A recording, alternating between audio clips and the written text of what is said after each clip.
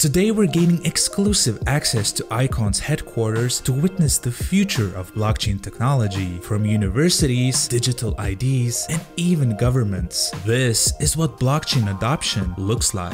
Coming up on Icon TV.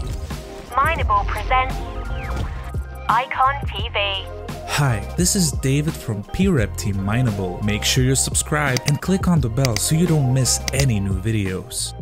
Fake diplomas are a bigger global problem than you might realize. In fact, the e-learning market is booming. It's expected to be valued at over $300 million by 2025, yet its qualification award system is insecure and difficult to verify. So how can employers ensure that people have actually completed the courses they claim to? Icon is facing these challenges head on and they're doing it with blockchain. Icon's broof service is providing employers and recruiters with trusted information about a person's employment history, their degree, and other skills they may have gained over the course of their career. broof does this by enabling recognized institutions like universities to create and source verified credentials about an individual after they successfully obtain a new qualification. To create a truly international decentralized system, Icon has chosen to run broof on their public blockchain. For example, a university could upload the degree certificate, what was achieved, and when it was awarded. Ultimately, when this information is used by employers from all over the world, they can trust it hasn't been embellished, inflated, or illegitimately adjusted. In a world of recognition and credential evaluation, it's clear the future is digital and Icon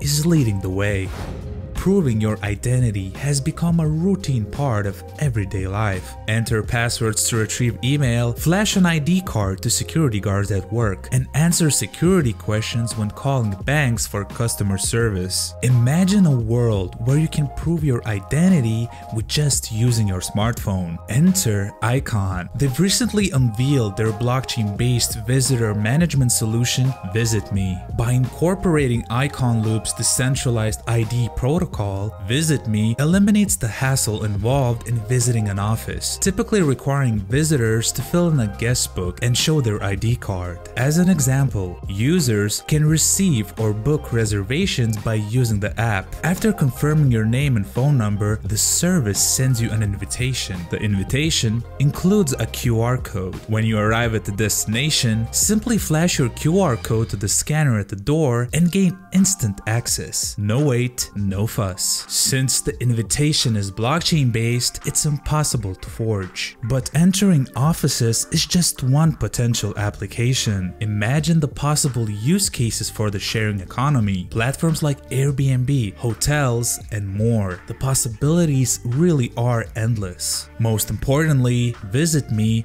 operates on Icon's public chain, which means that every time a user's identity is verified, it uses ICX.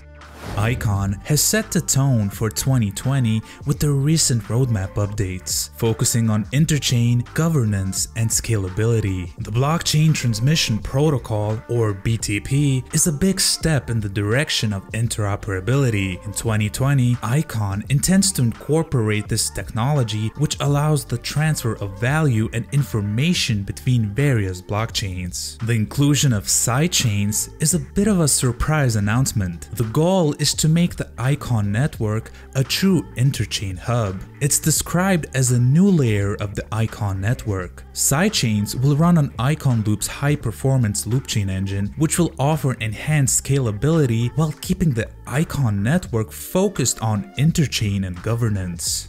The Korean government will be using a blockchain-based voting system developed by Icon Loop. It took several months to integrate, but now it's ready to launch. We already know that the government of Seoul has mandated Icon's parent company Icon Loop as the sole Metro standard blockchain platform for all current and future applications. According to the city of Seoul, citizen voting related data has been stored and managed in a centralized database. In the future, the relevant information will be distributed and stored on the blockchain, a clear example of how blockchain can be used by governments. Thank you for watching this episode of Icon TV. Make sure you subscribe and like this video. And if you're an Iconist, make sure you show your support and vote for Mineable P-Rep. Every vote counts. See you next time. Mineable out.